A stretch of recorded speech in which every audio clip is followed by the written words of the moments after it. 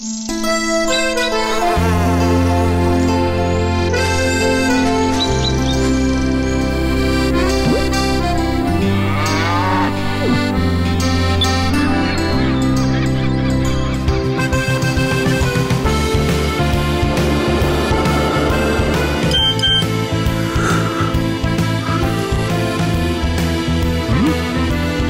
Eihän sitä koskaan tiedä, mihin kaikkeen Suomen kattavinta 3G-verkkoa voi tarvita.